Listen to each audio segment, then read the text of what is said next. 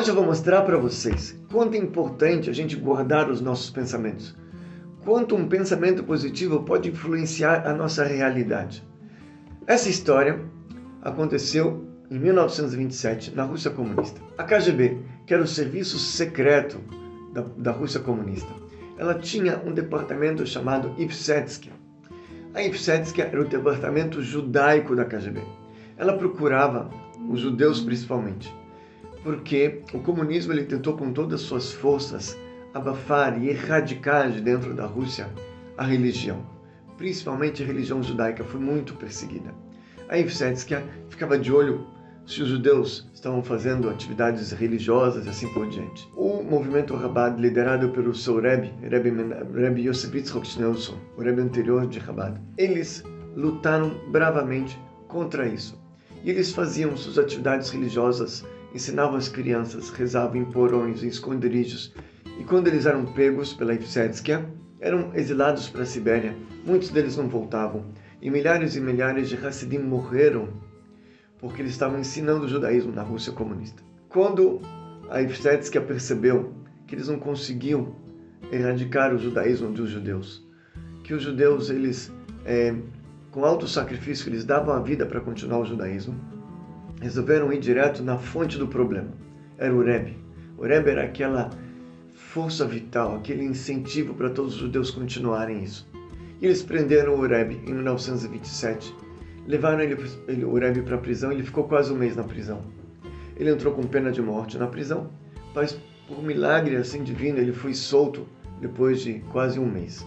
Porém, eh, o governo não queria mais o Rebbe na Rússia. Então, em 1927, aparentemente outubro, mais ou menos, depois das festividades de Sukkot, seria a última vez que os Hassidim poderiam ver o Rebbe e conversar com o Rebbe fisicamente porque depois que o Rebbe saísse, a cortina de ferro, pelas leis da natureza, não, ia deixar nenhum judeu sair da Rússia.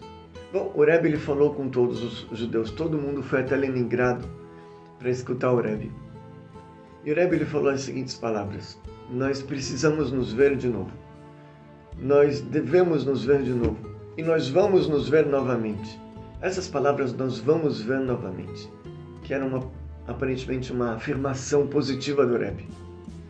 Elas caíram nas almas dos Hassidim como assim algo extraordinário. O Rebbe está falando que nós vamos nos ver novamente. Ou seja, nós vamos ter o mérito de sair dessa cortina de ferro e ver o Rebbe num país livre. Vamos poder ver o Rebbe novamente. E foi uma festa. Os Hassidim começaram a dançar. Eles começaram a dar um palhota no meio da rua. Foi uma alegria generalizada ali. Oremos então no dia seguinte. Ele saiu com sua família da Rússia. Foi naquele momento ele saiu para Varsóvia e de lá, mais tarde, ele acabou chegando nos Estados Unidos, em Nova York, onde continuou a dinastia Rabat. Aqueles Hassidim que ficaram do lado da cortina de ferro, os mais velhos, os mais experientes, os anciões, digamos assim, muitos deles, eles ficaram com medo de uma decepção generalizada. Eles juntaram os Hassidim e falaram: Veja bem, Talvez a promessa do Rebbe era somente algo espiritual. Nós vamos nos reencontrar com o Rebbe espiritualmente, em pensamento, através dos estudos da Torá que ele deixou para a gente, através dos ensinamentos do Rebbe. Ninguém garante que realmente isso vai acontecer na prática. Eles estavam com medo de que teria uma decepção muito grande ali e tentaram preparar os mais jovens. E realmente alguns escutaram aquilo e ficaram tristes, chateados, deprimidos até Será que realmente nós estamos fadados a viver até o resto da vida aqui nessa cortina de ferro? Sem o nosso incentivo, sem o nosso mestre, sem o nosso Rebbe, como é que vai ser a nossa vida? Sem escutar mais o Rebbe, sem aprender mais do Rebbe, sem estudar com o Rebbe, sem as orientações que o Rebbe nos dá. E aquilo foi muito forte para muitos Hassidim. Mas existia um outro grupo que não queria escutar aquilo. Existia um outro grupo que falou, o Rebbe falou, nós escutamos isso claramente nós vamos nos encontrar com o Rebbe. Isso é uma promessa, nós vamos nos encontrar com o Rebbe. Eles não queriam dar ouvidos aos anciões, aos Hassidim mais antigos, aos mais velhos, os grandes Hassidim. E aqueles jovens falaram, nós vamos nos encontrar com o Rebbe, vamos nos encontrar com o Rebbe. Escutamos isso, isso vai acontecer. O que, que aconteceu no final, gente?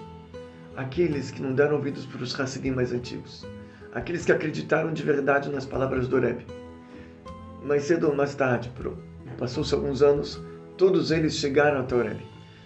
aconteceram milagres, eles conseguiram vistos especiais para a imigração. Eles saíram da Rússia e viram o Rebbe.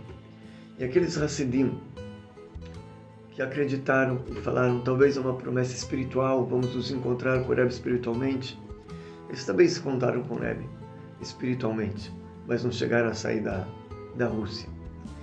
Nosso pensamento, gente, tem muita força, porque Deus ele criou o mundo com a fala e também com o pensamento. E o homem foi criado ao semblante divino. E quando a gente fala e quando a gente pensa, nós criamos realidades também. Então vamos pensar positivo. Vamos acreditar nos nossos sonhos, eles vão virar realidade. Tudo de bom, gente.